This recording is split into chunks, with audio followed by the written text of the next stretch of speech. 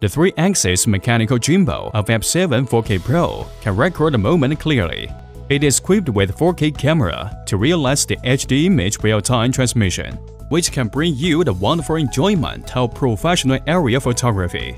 The camera functions Turn the axis machine button on the remote control to adjust the angle of camera. Turn the roller on the remote control to zoom in and out and to capture the beautiful landscape distantly. Gently press the camera button on the remote control or click the camera button on the app interface.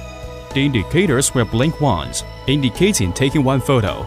Gently press the video button or click the video recording button on the app interface. The indicators will keep flashing, indicating that it is recording. The original pictures and videos captured by camera will be saved on SD card and mobile app album. Gently press the SD card on the camera to take it out. Waypoint of flight.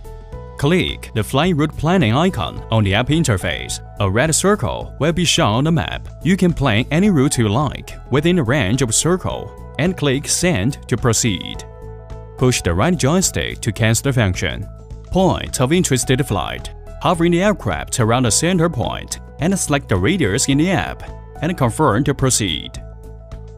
The surrounded speed, clockwise and anti-clockwise flight can be altered by pushing the right joystick. Click the interest the point icon on the app again to exit. GPS following. Make sure the flight scope is within 10 to 15 meters and a horizontal altitude without any obstacles for flight. Click the GPS following icon on app. It will display GPS following is ready. At this moment, the aircraft will move along with a smartphone to follow you wherever you go. Click the GPS following icon again to exit. Image follow. Click the image following icon on the app and operate according to the instruction of the pop-up windows. The gesture photographing and the gesture shooting allow you to record a beautiful moment whenever and wherever you are. Gesture photo. Click the gesture photography icon on the app and proceed according to the instruction of the pop-up windows. The right-hand scissors are for photographing. 3 seconds are available to pose for the photography. Open the right part to start the video recording and reset it again to stop recording or click the video recording button on app to stop. The default is right hand and it can only be operated on the black light lens. Choose an open area clear of buildings and other obstacles. Turn on the drone. The light turns green then red wait for pairing.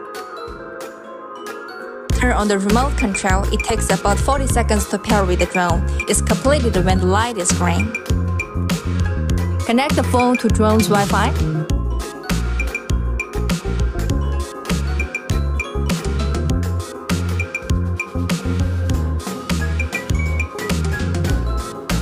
Open the app, tap Controls. Push the left and right joystick to 1 and 11 o'clock position to calibrate the compass. Rotate the drone horizontally two times. You will hear D sounds. Then keep the camera facing to the sky and rotate it vertically two times. You will hear D sound. Place the drone on a level ground. Push the left and right joystick to 11 and 1 o'clock position to calibrate the gyroscope.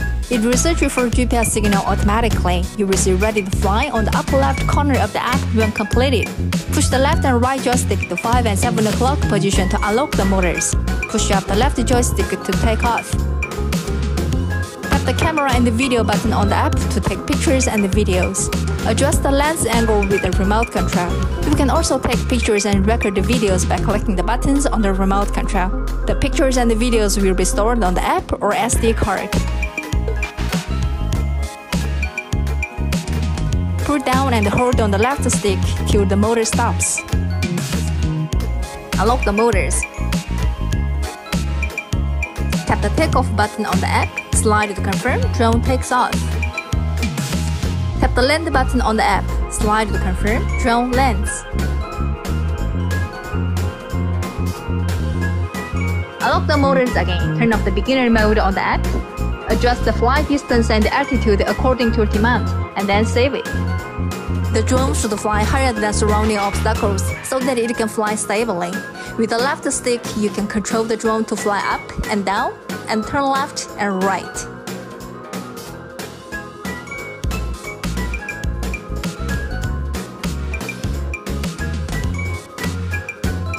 With the right joystick, you can control the drone to fly forward, backward, left, and right.